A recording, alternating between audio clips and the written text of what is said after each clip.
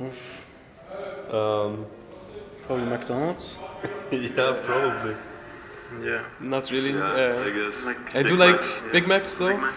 but my favorite food is McDonald's. I'd say burgers in general.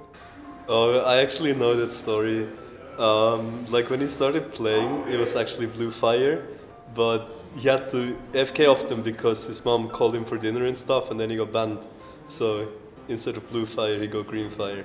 Yeah, that's true. Okay, I didn't know that. You didn't? No. I I mean, he you- probably told me, but I forgot. Yeah, I told him. I think. Stop being hardstuck diamond two. Maybe. hey, that was Diamond took one yesterday. It dropped because of pride. Price. Yeah, I, I suppose it's going pro or just achieving as much as possible. yeah. Yeah, that's true. Favorite movie? I don't even know You myself. know that, you live with him. I don't think he only watches anime all the time. What? I think. I don't know.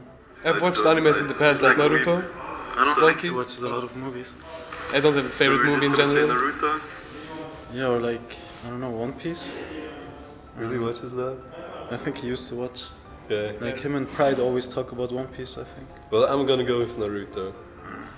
Yeah, I don't have a favorite movie, but yeah, I agree with them.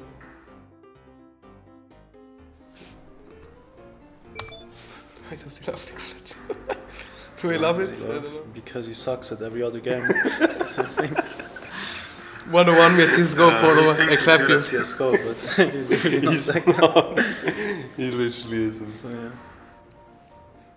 Yeah.